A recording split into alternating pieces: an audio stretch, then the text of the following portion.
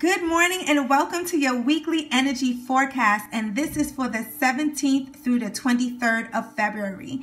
Guys, let's just get into it. Confidence is your key to success. And I think this card is so fitting.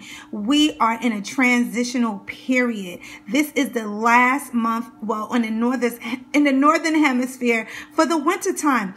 This is the time to really shine and allow all those things that you had in front of you to really come and draw it to you. We are all drawn to the summer. We are all drawn to the heat. We are all drawn to the sun. And you know, a Le- the Leo rules the sun. So be the sun in in your life.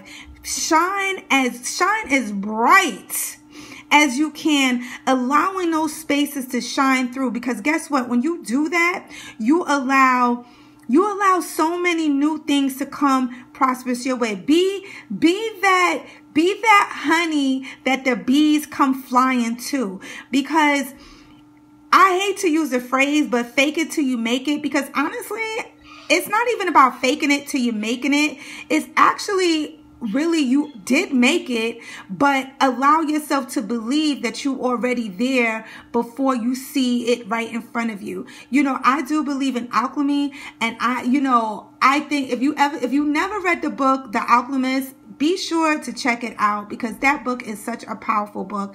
And I am a firm believer in professing the things that is not yet seen because I feel, I feel in my heart, in my spirit, if you can believe it, if you could close your eyes and see it, it's already yours. So shine like a diamond, be bright, be courageous, be powerful, and obtain the things that you know that's already prosperous in your life. Guys, have a blessed and powerful week.